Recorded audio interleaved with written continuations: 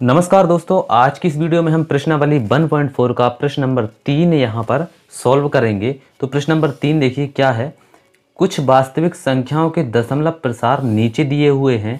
प्रत्येक स्थिति के लिए निर्धारित कीजिए कि यह संख्या परिमेय है या फिर नहीं। यदि यह परिमेय है और पी बटे क्यू के रूप की है तो क्यू के अभाज्य गुणनखंड के बारे में आप क्या कह सकते हैं? ठीक है? तो हमें यहाँ पर तीन संख्याएँ दी हुई हैं। एक, दो, तीन। हमें तीनों के बारे में यहाँ पर बताना है। तो चलिए थोड़ा सा इसमें बेसिक है, उसको आप समझ लीजिए।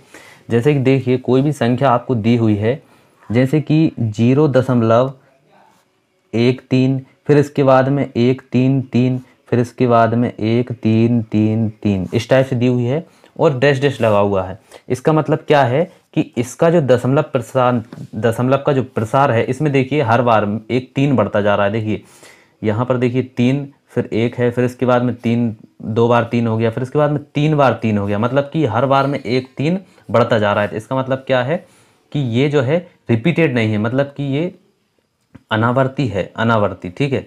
अनावर्ती, अशांत है, क्योंकि ये संख्या कभी भी ख़त्म नहीं होगी। तो यहाँ पर क्या आएगा? अनावर्ती, अशांत, ठीक?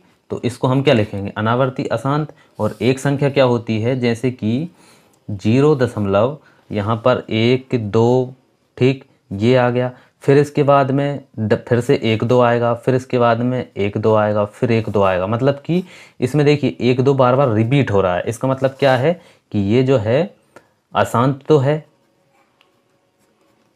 क्योंकि ये आता ही जाएगा। इसका मतलब ये अशांत है, लेकिन आवर्ती है। आवर्ती मतलब कि बार बार वही संख्या रिपीट हो रही है। इसमें क्या है? रिपीट नहीं हो रही, इस वाले में रिपीट हो रही है। तो इसका मतलब क्या है? अशांत आवर्ती और जो रिपीट नहीं हो रहा है, वो अशांत अनावर्ती। ठीक है?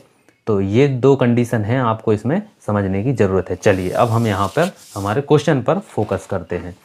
तो देखिए, पहला क्वेश्चन जो है, यहाँ पर हमें क्या बताना है? देखिए, सबसे पहले तो हमें ये बताना है कि वो संख्या परिमेय है या फिर नहीं। देखिए, जिस संख्या का, जैसे कि ये कोई संख्या है जिस संख्या का प्रसार शांत होता है। अब देखिए, इसमें ना कोई रिपीट हो रहा है, बस ये यहाँ पर इसका ख़त्म हो गया। इसका मतलब क्या है? ये शांत है, ठीक है? और जो संख्या शांत होती है, वो जो है यहाँ पर परिमेय होती है, ठीक है? तो ये जो संख्या है, ये परिमेय है, क्योंकि इसका प्रसार शांत है। तो इसके जो अभाज्य गुणनखंड आएँगे मतलब कि ये जो है, ये पी बटे क्यू के रूप में होगी, क्योंकि ये परिमेय संख्या है, ठीक है? तो ये परिमेय संख्या है तो पी बटे क्यू की रूप की होगी। तो क्यू क्यू क्या होगा? इसकी नीचे वाली वैल्यू मतलब कि नीचे की जो संख्या होगी, वो किस रूप में होगी? वो होगी टू की पावर एम और फाइव की पावर एन इस रूप में होगी, तभी ये जो संख्या है, ये शांत है। तो चलिए, पहला क्वेश्चन में सिर्फ़ यही बताना था। इसको आप जिस टाइप से मैं बोल के आपको दिखा रहा हूँ, वो आपको यहाँ पर लिख भी देना है। चलिए, अब सेकंड क्वेश्चन जो है, इसमें देखिए, इसमें क्या हो रहा है कि ये जो संख्या देखिए यहाँ पर हर बार में एक ज़ीरो बढ़ रही है, देखिए।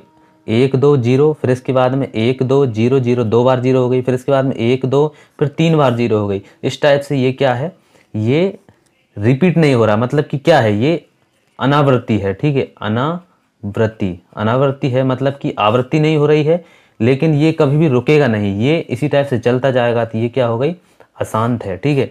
तो ये अनावर्ती अशांत है, ठीक?